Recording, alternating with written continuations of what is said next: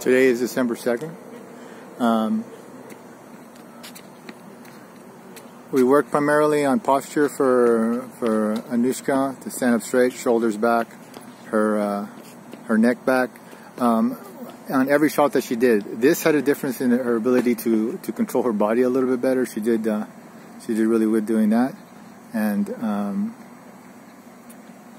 her footwork was a little bit better too. Started off with the, again with contact point, short tennis, emphasizing step with on the forehand side. Make sure she plants her left foot on uh, uh, forward. Make sure her contact is in front. Backhand side, we went ahead, uh, plant the right foot, extend forward. Um,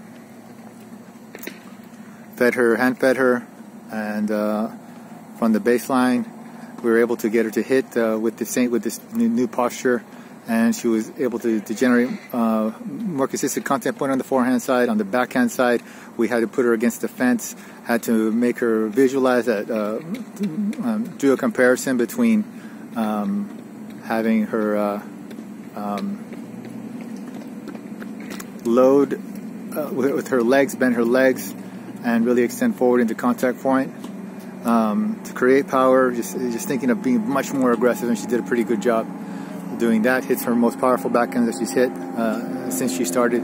We didn't do any uh, any net feeding. Um, we did a, um, a, tiny bit of live ball short tennis at the very beginning, just hitting from forehand to forehand, and she did okay with that. Six ball rally was about the longest. Okay, so next time we got to work on her serve, right? Continue with this aggressiveness and good posture. Yes, when she ran too, when she ran lap, she had this shoulders back, uh, chin chin chin chin back.